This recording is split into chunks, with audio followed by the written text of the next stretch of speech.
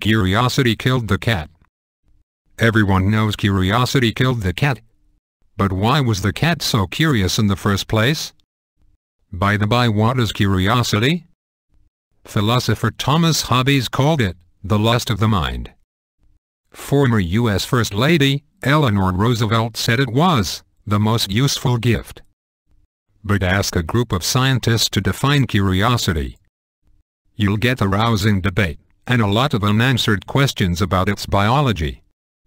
Recently a pair of neuroscientists from the University of Rochester reviewed the evolution, mechanism, and function of curiosity. It's published in the 4th November 2015 issue of the journal Neuron.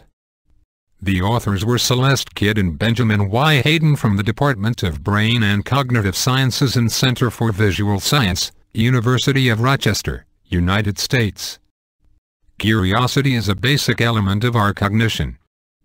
It is a motivator for learning, influential in decision-making, and crucial for healthy development. Curiosity is a long-standing problem that is fascinating but has been difficult to approach scientifically. Curiosity has been a subject of study since the early 19th century. The authors use a working definition of curiosity as a drive state for information. This can be observed not only in infants and children but creatures as simple as worms. Curiosity is beneficial, it facilitates learning. A person's success increases along with the degree of his curiosity. But anything above a limit is harmful. Curiosity is also not an exception. We spent time watching a TV show because we were curious to know what happened. Then we spend less time working on our jobs. So there is definitely a balance, and too much curiosity can be harmful. There is a connection between curiosity and it and other attentional disorders.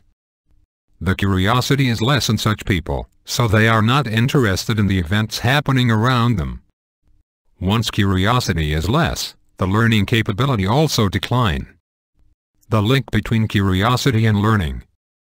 The future will bring further research into how curiosity can be controlled, how curiosity is affected by disease, and how it differs between childhood and adulthood. Thank you.